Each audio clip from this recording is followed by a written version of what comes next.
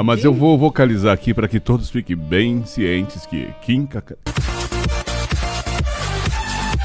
Kim Kataguiri. Eu falei Kim Kataguiri eu fiz de propósito justamente para gerar mais atenção em quem eventualmente esteja nos escutando. Se eu tivesse essa voz dele, eu tinha comido tanta gente, né? Ah! eu já vou chegar com o pé no peito, irmão. Eu vou cair! Já vou chegar com o pé no peito pra gente conversar. Que pilantragem o fundão. Espera não apanhar. Cara, é cada vez mais difícil é, querer acreditar nesse país. Porque, tipo assim, é num momento de pandemia, num momento que um monte de gente tá passando mó perrengue. É. Vocês, eu digo vocês todos lá, né? Eu sei da- do que você fez lá. Mas, assim, os caras armar pra colocar, pô, de sair de 2,6 pra ir pra 6. É, olha, vou falar pra você, é a mais pura picaretagem do mundo. E eu vou falar pra você, não sei até quando o brasileiro vai aguentar, mano. É o tipo de coisa que dá, que dá desesperança, né? Porque é o que você colocou, no momento de crise, no momento de pandemia, você triplicar o valor do fundo, agora o Bolsonaro deu uma entrevista falando, ó, vou vetar. A lei garante. Tá? É. Quase 4 bilhões o fundo. O extra de 2 bilhões vai ser vetado. Falou, opa, maravilha, vai vetar. Não, vou vetar, mas vou apresentar uma proposta pra dobrar. Né? Ou seja, não vai triplicar, mas vai dobrar no momento de crise com o apoio do presidente da República. Pra mim, que enquanto liberal já é imoral eu obrigar qualquer pessoa a financiar a campanha com dinheiro de outra pessoa. Porque se vocês vão fazer um podcast, vocês precisam pagar, comprar ou alugar o microfone, o fone, pagar quem faz edição, quem faz a transmissão, do bolso de vocês emprestar com alguém, pedir dinheiro emprestado pra parentes, vocês precisam se virar. Porque eu sou um político, não preciso fazer nada disso, simplesmente pego o seu dinheiro sem te perguntar se você quer ou se você não quer dar o dinheiro e você paga cada vez mais pra financiar minha campanha. Tá errado. É compulsório, né? Pra mim é um negócio imoral. Se você Uhum. se sente representado por mim a ponto de querer pagar a minha campanha, você paga voluntariamente.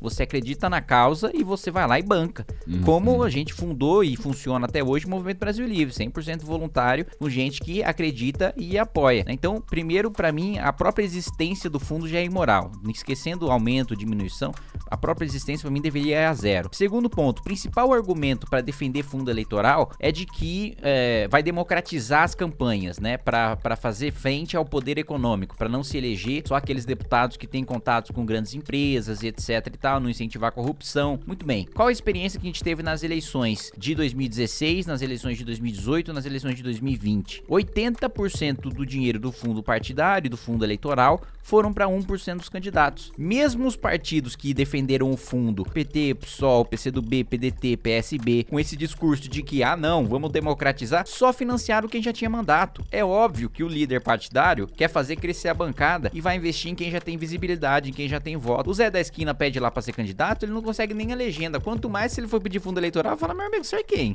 Você tá, tá louco? Tá chegando aqui no partido pra pedir dinheiro pra fazer campanha? Exatamente. Então não se, não se sustenta, você tá financiando a oligarquia partidária. Ah, mas campanha é cara, é o custo da democracia, não sei o que, não sei o que lá. Meu amigo, campanha é cara porque você tá comprando cabo eleitoral, porque você tá contratando a Ivete Sangalo pra fazer jingle, é porque, porra, né? Sim. É, não é a Uhum. campanha que é cara, é você que esbanja dinheiro na campanha. E, você- e- e eles também mexeram ah, há poucos anos atrás, que agora, assim, o dinheiro, o dono do partido, quando recebe ali o bolão que vem assim, é, ele pode fazer o que quiser. Pode pagar advogado, pode comprar carro, pode comprar casa, e não precisa justificar. É o maior esquema de pilantragem que eu já vi no mundo, mano.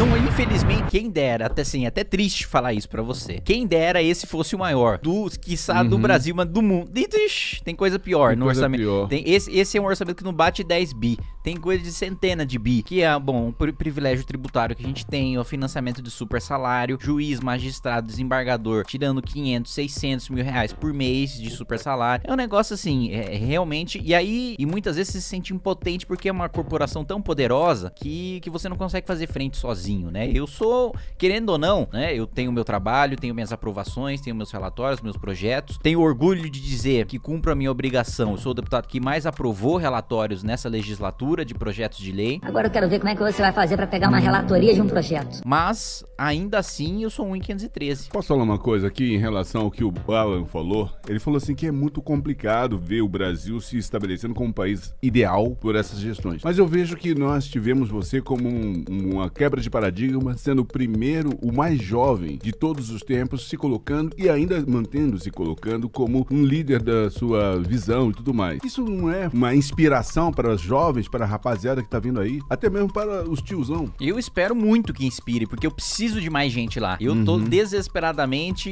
incentivando e buscando gente pra disputar a eleição em 2022 pra deputado federal, pra estar junto lá no Congresso Nacional, porque é muito difícil você fazer uma alteração, uma supressão, barrar uma votação, né? Pô, a gente fez ali, juntamos um grupo ali de 20 deputados que era contra a PEC da impunidade pra ficar é, 38 horas seguidas obstruindo o projeto. É complicado se essa- achar gente que tem essa convicção, que, que peita, aguenta você ter o presidente da Câmara como inimigo. É muito difícil ser deputado aprovar qualquer coisa com o presidente da Câmara sendo seu inimigo. Você não pode, não precisa ser necessariamente aliado dele. Agora, você bater nele, bater nos projetos dele, bater nas iniciativas dele, ajudar a barrar, é difícil. Caralho, é difícil, velho. Muito, muito, muito. É, eu acho fundamental, tomara que meu exemplo inspire mais, tomara que nas próximas eleições eu tenha menos votos, só o suficiente pra me eleger, que outros tomem o voto pra estar tá, lá junto comigo. Que é disso que eu tô precisando, porque chega uma hora que o seu mandato tem um limite. Né? Chega uma hora que, que você precisa de um grupo, você precisa de 10, 15, 20 caras que aí fazem um baita de um barulho que é diferente de você estar sozinho. Mas eu tô vendo assim que tem cada vez mais gente, mais jovem se interessando, né? Isso dá, dá esperança, né? Eu, nos meus, nos meus 12, 14 anos de idade, tinha a menor noção de política, não falava de política, não tinha debate político em sala de aula. Hoje são várias escolas que me chamam pra falar, que tem debate, que independentemente de co- concordar ou discordar de mim, o sujeito né, participa do debate Você político. né? provoca na sua, provoca. no seu discurso uma reflexão.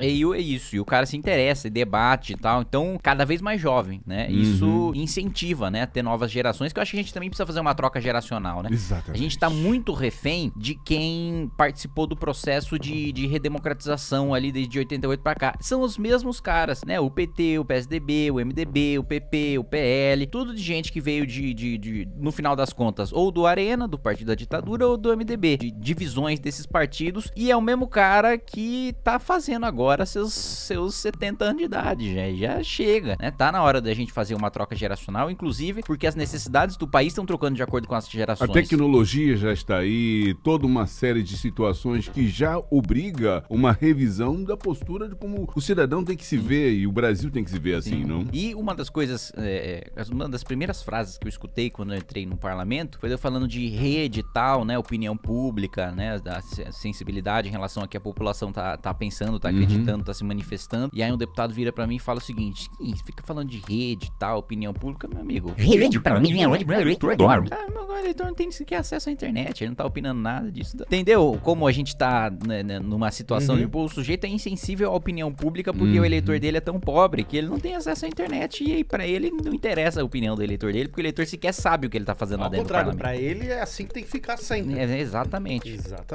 Olha, eu vou falar, é, esse país é. Desculpa, eu sei que assim, por ser político, eu deveria vender um pouco mais de esperança, né? Colocar, né? Vamos lá, vamos fazer, vamos acreditar. Mas é, é, tem momentos assim de, de, de desânimo, né? De, Cara, Eu- nas, suas, nas suas redes você já deixa claro o, o que tá acontecendo lá dentro. Quando você chegou lá, qual foi a coisa mais esdrúxula que você olhou assim e você falou, cara, eu não tô acreditando que eu vou, tô olhando isso ou eu vou ter que lutar por uma coisa dessa. Cara, eu acho que. É, É tantos, né? Recentemente. É, teve. Vou falar duas coisas, né? Primeiro, um episódio que a gente teve recente, né? Uma discussão na, na comissão de trabalho sobre obrigatoriedade de você ter uma placa dizendo. Todo estabelecimento é obrigado a ter uma placa dizendo aqui tem um código de defesa do consumidor e ter o código de defesa do consumidor atualizado. Aí a gente estava defendendo que o sujeito não tivesse aquela obrigatoriedade de ter o código de defesa do consumidor, de ter uma placa dizendo que eu tenho o código de defesa do consumidor. Por quê? Porque o sujeito que tem um problema de consumo não vai falar, ô garçom, me vê o código de defesa do consumidor aqui pra eu reclamar do serviço. Ele vai, se ele tiver um ponto de, de ter que resolver com o advogado, ele vai falar com o advogado. Ele não vai chegar lá ele mesmo pegar o código e aplicar, né? E ainda mais ter uma placa avisando to, todo estabelecimento tendo. Não é um negócio assim, não estamos tornando a, a legislação acessível à população, não estamos democratizando direito de consumo. A gente só tá criando uma indústria de placa e uma indústria de código de defesa de consumidor que um, um dinheiro que poderia estar bem investido em, em geração de emprego e de renda, mas está sendo usado para pagar burocracia.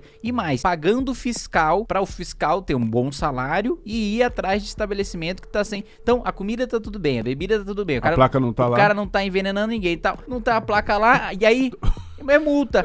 E aí o que que isso gera? O Milton Friedman, prêmio Nobel de Economia, né, da Escola de Chicago, falava muito sobre isso. né? Ele contava que a Inglaterra era conhecida como uma terra de corruptos, de servidores corruptos, de contrabandistas e de traficantes. Uhum. Por quê? Porque o cidadão da Inglaterra, e aqui eu faço muito paralelo que eu, eu- é muito comum eu escutar, não, mas que aqui é Brasil, né? Se fosse Suíça, se fosse não- Suécia, Ah, se fosse Japão, a história era diferente, assim, Uhum. como se a gente tivesse uma inferioridade cultural ou genética ou do povo. E por que, que eu digo isso? Porque é exatamente isso que o Friedman falava sobre a Inglaterra, né? Então a galera falava, ó, inglês, ladrão, né? Mas por quê? Porque o povo inglês tinha uma tradição de corrupção, de, de Uhum. suborno, de propina? Não, mas é porque a Inglaterra tinha a chamada lei dos cereais, que era proibido você importar cereal, aveia, né? Era, proibido você importar qualquer tipo de trigo, qualquer tipo de cereal. E isso fazia, como ela não era autossuficiente na sua produção, isso fazia com que o sujeito contrabandeasse, né? Tem demanda, mas está proibido você atender aquela demanda, você tá gerando um incentivo econômico pro crime organizado. E aí o sujeito para passar na fronteira pagava um ali pro servidor, o servidor deixava, porque ah, o cara, o cara tá fazendo o quê? Ele tá matando alguém? Ele tá roubando alguém? Não, ele vai passar aqui com produto só. Eu, eu recebo um meu aqui e deixo passar. E é, é extremamente burocrático também se abrir um negócio. Né, pra você abrir um estabelecimento comercial, você precisava passar por várias fases e tal. Aí o cara falava: Meu, quer saber? Toma essa, essa propina aqui e vai. E é isso que a gente vê no Brasil. A ocasião se faz o mal cidadão. É isso, e por que, que- É? Uhum. exatamente estrutura do Estado? Por que você tem tanta burocracia inútil e isso só financia a corrupção, né? Isso só financia a máfia. Porque aí o fiscal que não tá lá pensando no bem público, Uhum. ele vai lá e vai arranjar uma multa pelo Código de Defesa só para falar, ó, se você me pagar aqui eu não te multo.